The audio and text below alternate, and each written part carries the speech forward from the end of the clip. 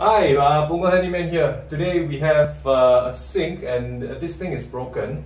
It's jammed and the uh, drain is a bit rusty.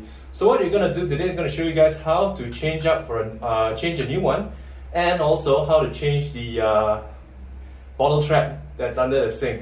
You guys stay tuned and before I begin, uh, do hit the like button and subscribe for more videos like this and uh, let's get into it. So as you can see here, the sink cover has popped off. And looking at the cupboard below, you notice that it is in quite bad condition.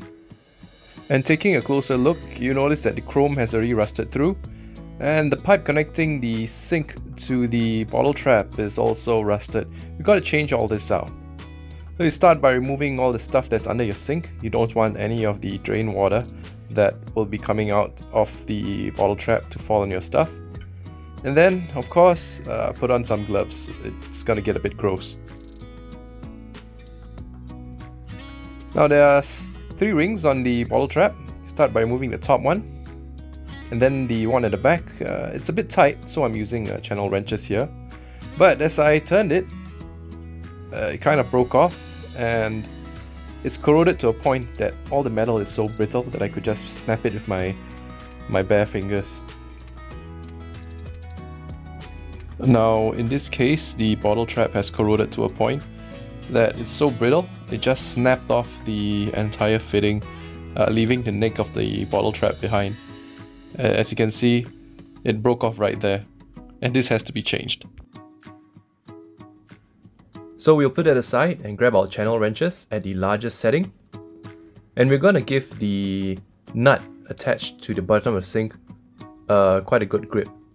Over here I'm using a pair of uh, long nose pliers to hold on to the top of the sink while I turn the bottom nut. This to prevent the stem from rotating as I'm turning.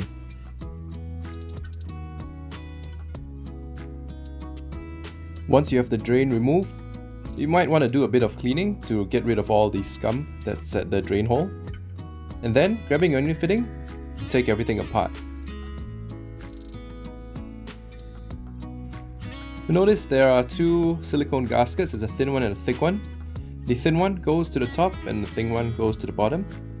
You put it around the stem of the drain and put it in place from the top of the sink. The fat one now goes to the bottom of the sink and is attached to the stem with the help of the new brass uh, retaining nut which comes in the set.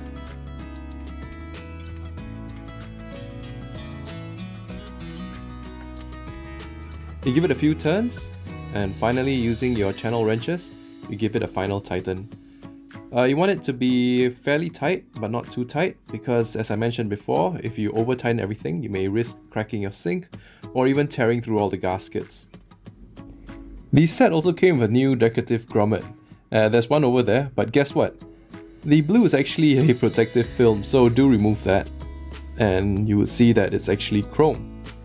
So I'm going to replace the old grommet with the new one, uh, just for decorative purposes.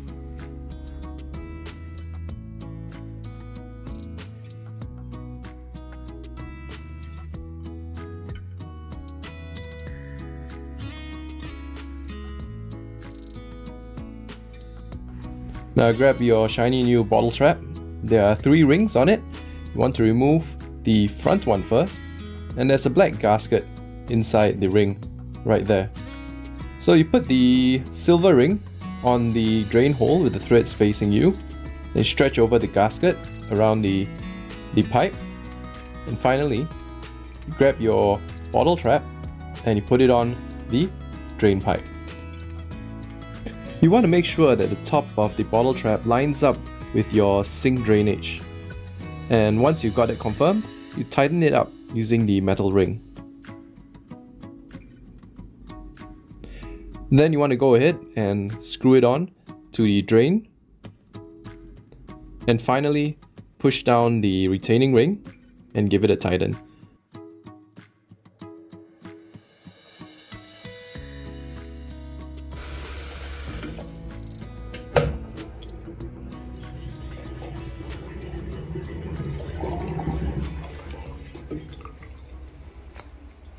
So that's the easy way to swap out uh, a bottle trap and a sink drain.